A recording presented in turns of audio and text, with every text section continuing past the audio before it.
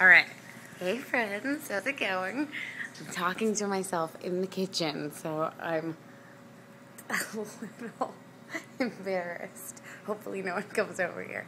Anyway, I just wanted to show you guys, first of all, how much of a mess I am, and secondly, how freaking talented I am. All right. First, let's start with mess. Here's my beautiful mixer some coffee, an explosion that happened with the strawberries, frosting, empty containers. Oh, here's some uh here's some cookies my mom made me. See? My mom and dad.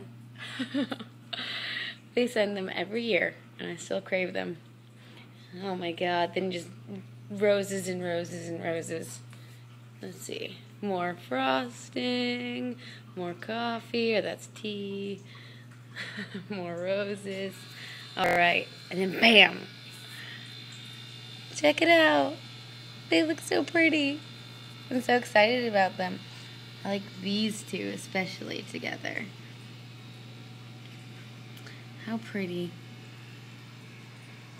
Mm-hmm. All right. Anyway, happy Valentine's Day.